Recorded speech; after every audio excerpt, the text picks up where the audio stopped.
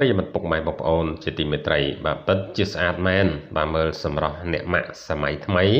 កូនមួយហើយតែសម្រស់របស់ NG នៅតែស្រស់ស្អាតខ្លាំង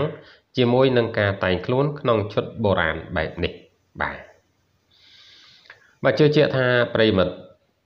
ជាច្រើនដែលប្រកាសជាបានស្គាល់រួចមកហើយពីអតីតតារាចម្រៀងស្រីដ៏ល្បីឈ្មោះគឺនាង NG ដែលបច្ចុប្បន្នតារាស្រីរូបនេះត្រូវបានគេដឹងថាកំពុងតែទទួលបានភាពជោគជ័យនៅលើ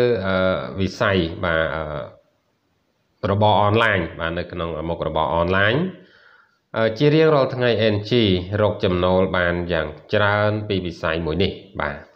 បាទដែលឡៃក្រោយរៀបការហើយពេលនេះអ្នកនាង NG បាននឹងកំពុងរស់នៅយ៉ាងមានសេចក្តីសុខជាមួយនឹងគ្រួសារតូចរបស់នាង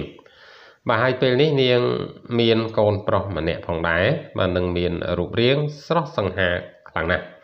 បាទមិនចាញ់លោកប៉ារបស់គេនោះទេបាទ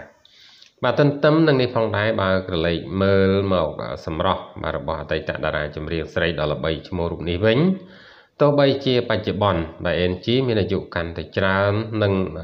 ធ្លាប់ឆ្លងកាត់បទពិសោធន៍មានបទ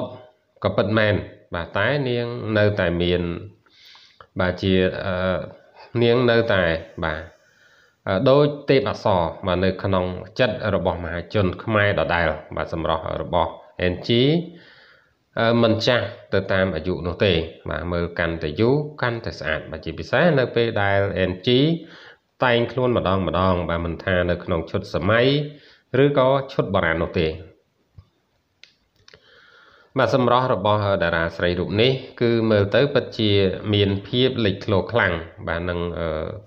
ពោពេញទៅដោយភាពស្រស់ស្អាតនិងទាក់ទាញខ្លាំងណាស់បាទបាទអញ្ចឹងពុកម៉ែបងប្អូនប្រកាសជាស្គាល់ហើយបាទនាង NG បាទហើយពេលនេះគឺបាទគឺរករបររបស់គាត់ខាងអនឡាញបាទហើយកំពុងតែជោគជ័យខ្លាំងថែមទៀតផងបាទ